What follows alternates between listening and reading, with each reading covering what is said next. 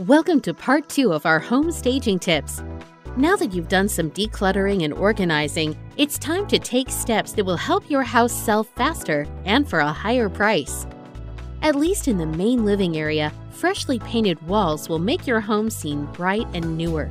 Think about warm neutrals like greens and grays, in addition to more traditional tan colors. Clean carpets, rugs, and window treatments. Don't forget to wipe down baseboards, door frames, and window sills.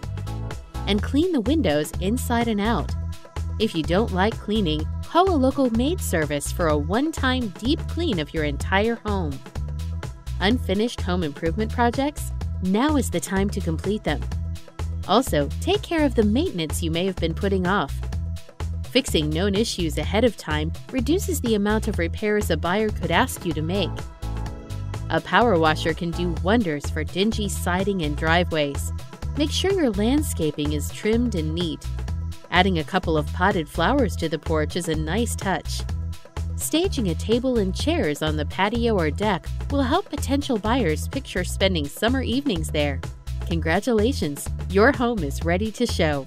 Continue to part 3 of the series for some tips on preparing for a showing. If you need assistance in selling or buying a home, Coldwell Banker Plaza Real Estate has a team of professionals here to help.